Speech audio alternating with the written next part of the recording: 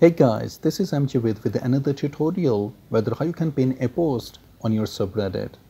Well, pinning a post on your subreddit is useful because it keeps important information visible at the top of the page, ensuring that all visitors see it first.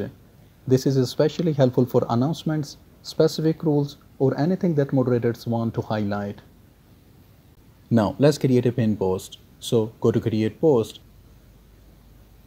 and write your post. Then give it a title and assign a flair.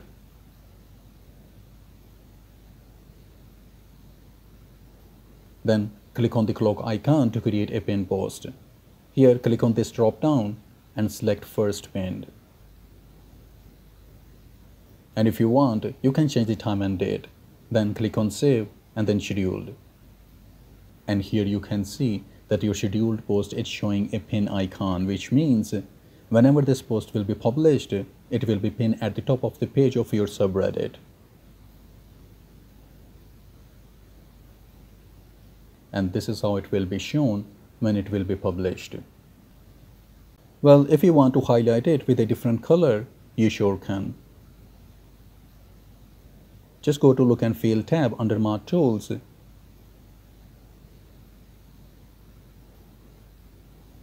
and click on community appearance.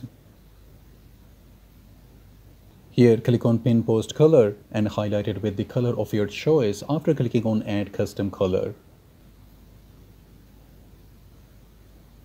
You can even preview its impact when it goes to dark mode.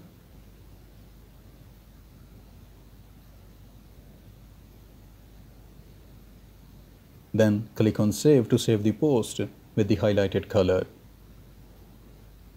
and here you can see how different it looks than the other posts.